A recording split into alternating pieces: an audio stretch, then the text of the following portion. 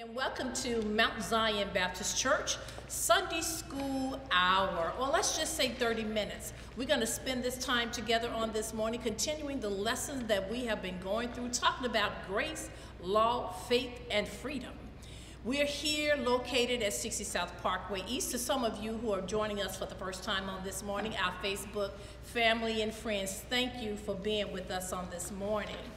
I hope that the majority of you that are part of the Sunday school has, have already read the lesson. I will go through them very quickly because we've got a lot to discuss. It is very interesting. And it's picking up from last week, but let me not get into that yet. Let me just read the 15 verses and then we'll dive in together. Thank you so much for joining us on this morning on Facebook Live and in person on today. Today's lesson, we're still in Galatians. The, the reading, the scripture is Galatians 5 1 through 15. Listen to the word. I'm going to start with verse 1. It says, Stand fast, therefore, in the liberty wherewith Christ had made us free, and be not entangled again with the yoke of bondage. Behold, I, Paul, say unto you that if ye be circumcised, Christ will profit you nothing. For I testify again to every man that is circumcised that he is a debtor to the whole law. Christ is become of no effect unto you. Whosoever of you are justified by the law, you are fallen from grace. For we, through the Spirit, wait for the hope of righteousness by faith. For in Jesus Christ, neither circumcision availeth anything, nor uncircumcision, but faith which worketh by love. Ye did not run well who did not hinder. Ye did run well who did not hinder you that you should not obey the truth. This persuasion comes not of him that called you. A little leaven, leaven the whole lump. I have confidence in you through the Lord that you may, that you will be none otherwise minded, but be, but he that troubleth you shall bear his judgment, whosoever he is. And I, my brothers and sisters, if I yet preach circumcision, why do I yet suffer persecution? Then is the offense of the cross ceased? I would that they were even cut off which trouble you. For my brothers and sisters, you have been called into liberty. Only use not liberty for an occasion to the flesh, but by love serve one another. For all the law is fulfilled in one word, even in this thou shalt love thy neighbor as thyself.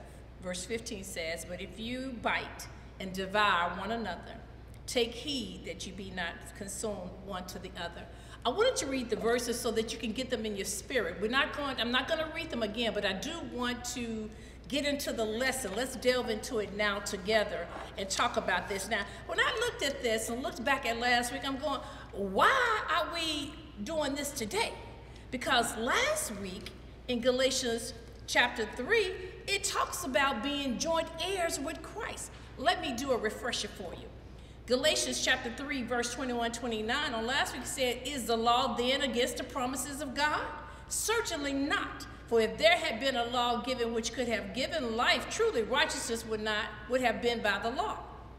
But the scripture has continued all under have confined all under sin, that the promises by faith in Jesus Christ might be given to those who believe. This verse doesn't say anything about circumcision, okay? But it says, But before faith came, we were kept under God by the law. We were kept under guard by the law, kept for the faith which would afterward be revealed. That's the punchline right there. In the lesson on this week, and I stopped at verse 23 from Galatians 3:21. The Galatian Jews believed in they practiced the Old Testament before they converted over to being Christians. They were Christian Jews. They only knew the Old Testament, the Moses law, being circumcised on the eighth day of birth, the males, and we're going to go there. So since this is what they had this is what they had believed. This is what they had been taught. They felt like that everybody else who came to Christ, who gave their life to Christ, who were seeking salvation, had to do the same thing, whether they were Jews, Greeks, or otherwise. If you were not a Jew, but you want to believe in Christ, you still needed to do what we did with the old law, and that was to be circumcised. So that's what brings us today. But verse, but Galatians chapter 3 had already refuted that. It talked about the law. It talked about that came before faith. So if it came before faith and faith came then, that means it nullified the law. The law is no more. Oh, well, how can you say that, Reverend Bob? Well, let me give you an example right now. We're going to talk about grace and we're going to talk about law. Let me show you the difference. Grace is based on faith, but the law is based on works. Grace justifies sinful men, but the law is incapable of resulting in justification. Grace begins and ends in Christ. The law makes Christ nothing. The grace is the way of the spirit, and the law is the way of the flesh. Grace is a blessing. Law is a curse. Grace is God's desired end for his people. The law was intended to be only a means to the end. Grace results in intimacy with Christ. The law results in estrangement from Christ. Grace makes one a son of God and an heir of Christ. The law keeps one a slave. Grace brings liberty, but the law results in bondage. Grace depends on the power of the Holy Spirit, but the law depends on human, on human effort. Grace is motivated by love. The law is motivated by pride. Grace centers on the cross of Christ, and the law centers on circumcision, right where we are today. Now, because of what they believe and what they practice, and what Genesis chapter 17, verses 7 through 14 says, this is what the Jews believed. Listen to the word of God. It says, verse 7, and I will establish my covenant between me and you. This is God talking, and your descendants after you in their generations. For an everlasting covenant to be God to you and your descendants after. This is under the law. Also, I give to you and your descendants after you the land in which you are a stranger, all the land of Canaan, as an everlasting possession, and I will be their God. And God said to Abraham, I've gotten excited. Let me bring it down a little bit. I feel myself running over myself. And God said to Abraham, As for you, you shall keep my covenant, you and your descendants after you throughout their generations. This is my covenant which you shall keep between me and your descendants after you. Every male child among you shall be circumcised and you shall be circumcised in the flesh of your foreskin, and it shall be a sign of the covenant between me and you. He who is eight days old among you shall be circumcised, every male child in your generations.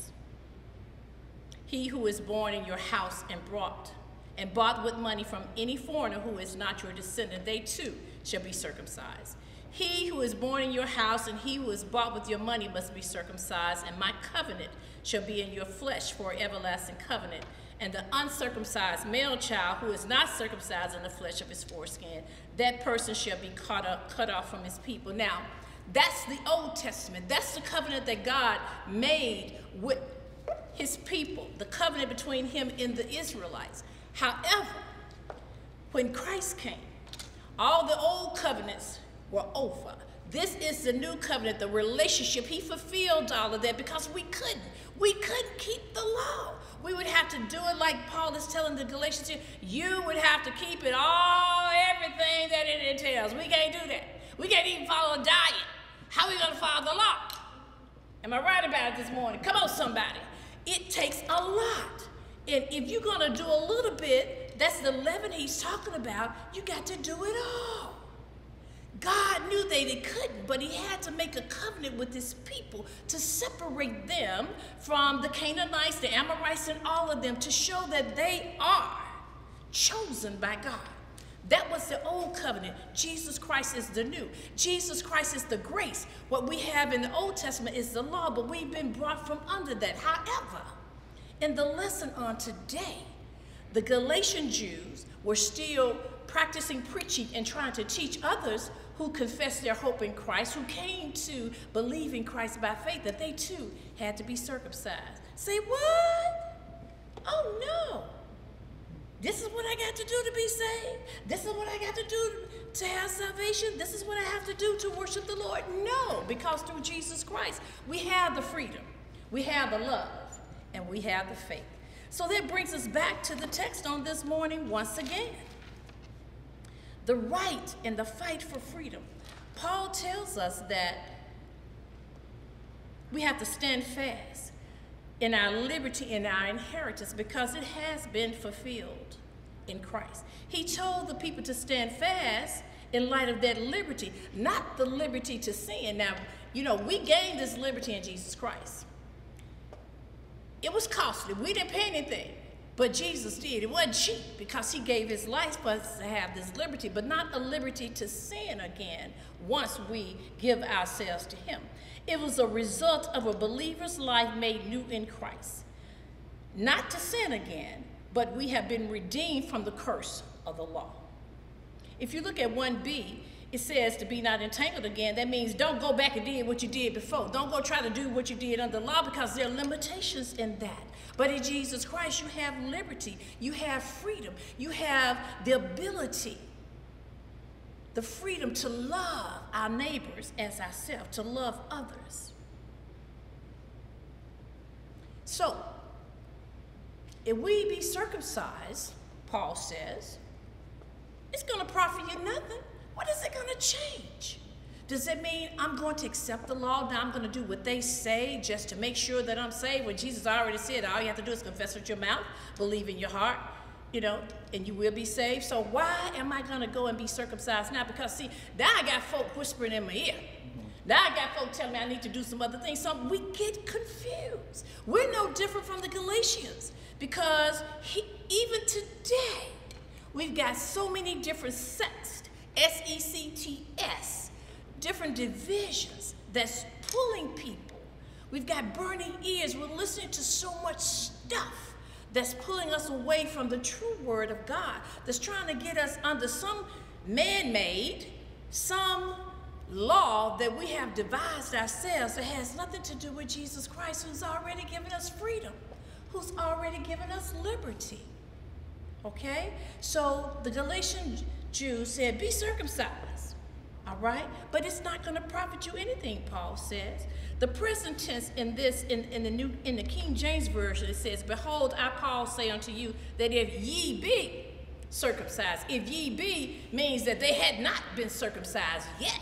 They were considering it because we've got these other Galatian Jews whispering in their ears saying, You got to do this to be able to do that. And that is not the case here. So, again, if you're going to be a debtor and be circumcised, you have to be that to the whole law. Again, like I said, we can't be we can't practice uh, some of the things we choose to practice now because we cannot dedicate ourselves, our time, our mind, our focus to doing something to completion we'll practice a little bit exercise. Can't do it, can't disciple, can't discipline my mind, my body, my will to get up and do it. So how am I going to achieve a goal if I got all of this to do that somebody has concocted with all these 2,000 diets and exercise programs? How am I going to practice a law that I was not born into when God made it easy for me by giving me a liberty to just love? to be free to choose him above all else that's not going to do me any good whatsoever. Okay? So, Paul says, I testify again in every man that is circumcised that he is a debtor to the whole law. If you're going to do a little bit, do it all. You just can't choose and pick and choose. I'm going to do this and I'm good because it doesn't work that way. In verse 4, Paul reiterates a previous point. A person cannot be justified by both Christ and the law. And I've read you the difference between the grace and the law. One is of God and one is of man. Choose you this day whom you're going to serve, okay? Only faith can bring justification. We find that in Romans. Only faith can justify us. If we look at verse 5, it says, the identifier here is a direct contrast to ye, fallen from grace. It says here, For we through spirit wait for the hope of righteousness by faith. Faith is the substance of things hoped for and evidence of things not seen. Okay? Again, circumcision has no rule no right over anyone. So why do we go looking for other stuff? Okay, so if you give your life to Christ, here we got this law at Mount Zion. You got to come in on your hands and knees, lay down on the floor, confess that Jesus Christ is the Son of God. You have to sit on the third pew on the right hand side by 11 o'clock a.m. every morning, or else you can't worship Him. Who is that of? That's not of God. We've got free, freedom, we've got liberty, we've got love. We make these things up, thinking that it has to be a certain way for us to be a part of a church or a, let's go with denomination, okay?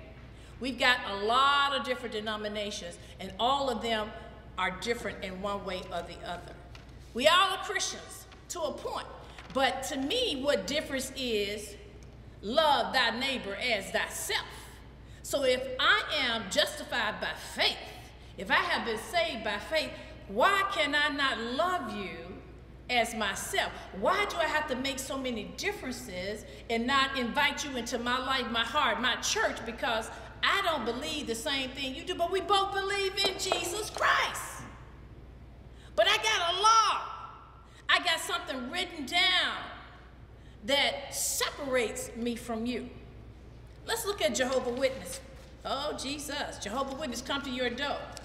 Are you going to let them in? Jesus, you know, the word says try to test the spirit by the spirit. Why are you going to let different spirits in your house? They don't believe in the Trinity. They don't believe that the God, the Son, God the Father, God the Holy Spirit are one. The word doesn't use the word Trinity, but let's go to Genesis. What does it say? God talks about we. They don't believe the Holy Spirit is a person. Yes, it is the power of God, but that's it. They don't believe that Jesus Christ was the Son of God, that he was not one of two persons, that he was the Son of God, the same Son of Man at the same time. They just believe that he became God's Son, but he was born human. Yes, he was born human, but how was he born human? By the Spirit. What, you know? Y'all know the story. Different beliefs. So I can't, we can't be Jehovah Witness because we don't have the same beliefs of how they interpret the scripture. But we all say we're Christians. The Galatian Jews were Christians, but they felt like you needed still to be circumcised. Jehovah Witnesses are Christians, but they've taken the word out of context. They have set up certain beliefs. I've had people that I've known who have died, who family members were Jehovah Witnesses, and they didn't come to their mama, their brother, their sister funeral because they were Jehovah Witness, and they didn't feel they could step into your church because your beliefs were different. How is that loving your neighbor as yourself? How is that practicing the freedom and the liberty that Jesus Christ has given us by grace? Whose law are you under? Why are you practicing all of these things that will not get you into heaven, that does not confirm your righteousness or your relationship with Jesus Christ? That was just one. What about non denominationals? Non-denomination is a denomination because it's non-denominational. They, the, the difference is they say non-denomination because they're not affiliated with the Baptists or the National Baptist Convention. Convention. They're non-denominational because they're not affiliated with the United Methodist Church. They're non-denominational because they're not Church of God in Christ. But they still a denomination unto themselves. So, you all follow me? You understand what I'm saying? You look at me, oh, Jesus, don't look at me like that. That's, that's Patrice. She's looking at me with love. So, am I right? Am I wrong? Okay. You all, any comments? Okay.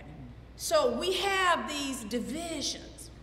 You have to not be affiliated with any other church or denomination to be non denominational.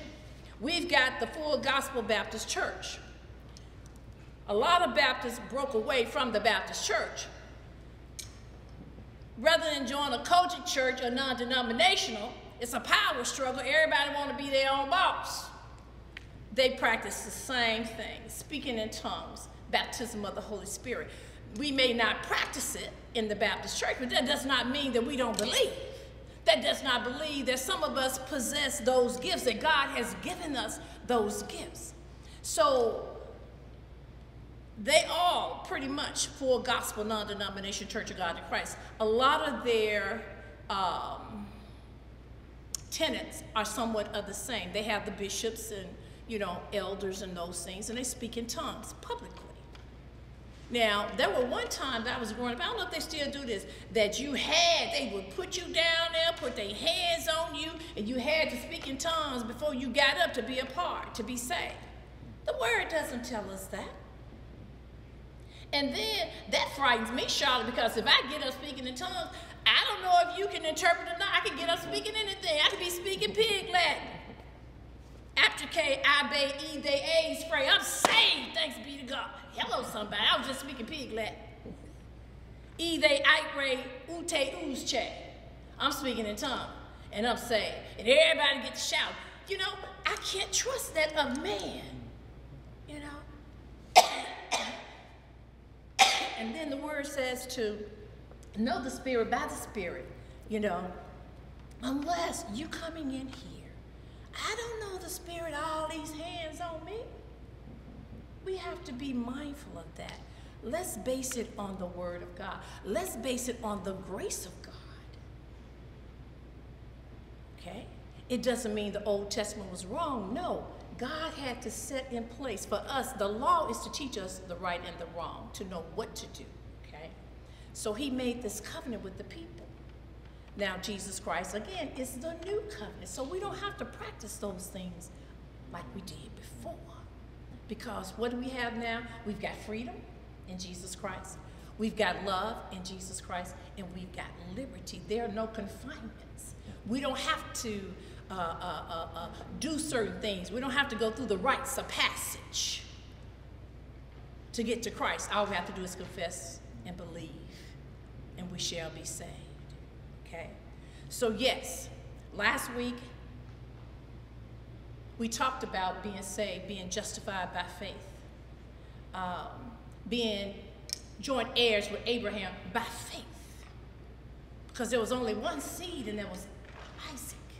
So we are sons of Abraham by faith, not by the law, not by circumcision, but by the grace of God. And I can't believe I talk so fast it's almost 9.30. We need to go to 10 o'clock. I'm too excited to sit down. I want somebody else to talk to. I want to hear what y'all got to say. What do you have to say on Facebook? Post it. Write it out. Share it with those who are watching and listening with you on this morning. Our obstacles to freedom is what the mandates that we allow others and ourselves to place on us. Test the word. Try the word. Test the spirit by the spirit. If the Bible didn't say it, why are you believing what other folks say? We've got the freedom. We are of the royal priesthood. We're all priesthood of believers. We have to study the word for ourselves. We can't be the Galatian Judaizers saying that we uh, you have to do this and that. What they were doing in verse 8, the persuasion cometh not of him that calleth you, that's what I was just talking about. Paul called the persuasion of the Galatian Jews another gospel. Full gospel, another gospel. Jehovah Witness, another gospel. Because we want to have the different denominations or the different power structures. But once it comes out of the context of the Word of God in the New Testament, which we are now under grace, then that's not of God. That's of mankind with their own laws, their own mandates, their own rules and regulations for us to worship. We have liberty in Christ to worship freely. I don't have to speak in tongues first before I worship it. I don't have to speak in tongues first before I am saved. I don't have to, our men, our boys do not have to be circumcised on the eighth day in order to be able to practice, to be able to believe, to be able to worship with liberty the Lord our God. Just a little bit. Verse 9, just a little bit of leaven, leaven the whole lump. Just a little bit spoils the rest. If you allowed a little bit of persuasiveness to take hold in your teaching, then you're going to allow a lot because there's going to be division. Now I'm believing them. I, I, just a little bit of what they said sounds true, so I'm just gonna I'm gonna practice that a little bit. Then before it's over, I'm practicing everything because you can't practice just a little. It's gonna be all or nothing. We have to stand against the influence of other teachings. We have to have confidence, like Paul had in the Galatian mindset toward faith, resulting in the positive reinforcement to motivate others like ourselves, to motivate children, to motivate those that we're witnessing, that it is by faith in Jesus Christ. Let me jump down to verse 15 so we can close out. I like this, what it says in 14 and 15. Uh, 14 says, If the law is fulfilled in one word, even in this, thou shalt love that. It's only the law, for all the law is fulfilled in one word. The law is fulfilled in one word. Thou shalt love thy neighbor as yourself. The law of Moses required so much. The law's teaching did not culminate in customs, rituals like circumcision. Instead, the law was fulfilled and found complete through a person's concern for others. And we can find that in Romans 13. Paul continues in the tradition of Jesus' ethical teaching, reminding believers then and reminding believers today of the importance to love your neighbor. Verse 15, I'm going to close out.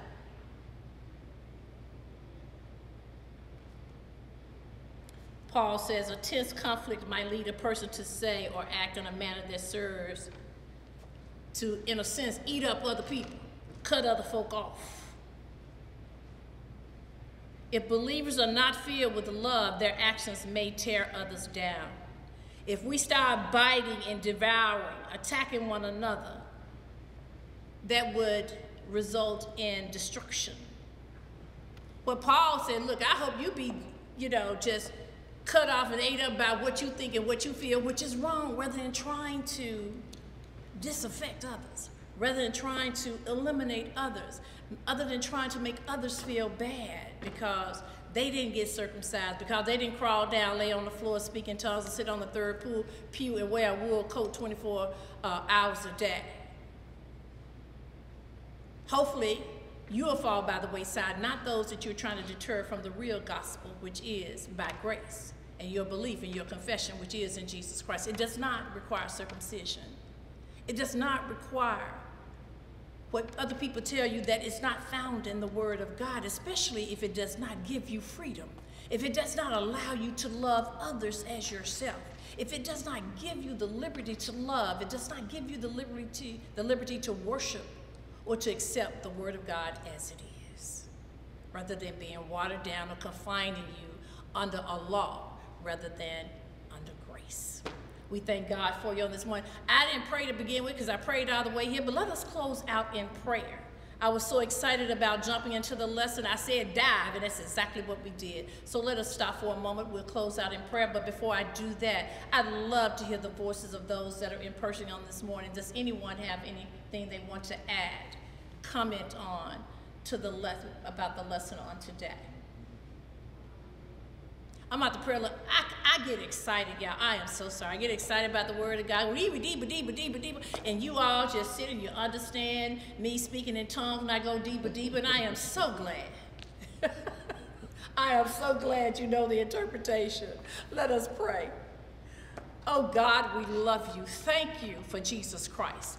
Thank you, oh God, for the liberty to accept you. Thank you for the liberty to love. Thank you for the forgiveness of sin, oh God. Thank you for the, for the freedom that you've given us through your Son, Jesus Christ. Oh God, we thank you now for the cross, the cost that it that was paid for us to be able to love, the freedom to worship you, and the liberty, oh God, to worship you without having to fall under the mandate of the law of others, oh God. Thank you for the new covenant with Jesus Christ. Thank you for the grace that we have. It is in the mighty name of Jesus. We pray for those, oh God, who are outside of the ark of safety, those who have not come into the fold or confessed Oh God, please, we pray for witnesses because the harvest is ripe and the laborers are few. We pray for witnesses to let them know that all they need to do is to confess with their mouths and believe in their heart that they will be saved because they are justified by faith. Thank you now for this lesson. Thank you for the participants on this morning. May we grow thereby. In Jesus' name, amen.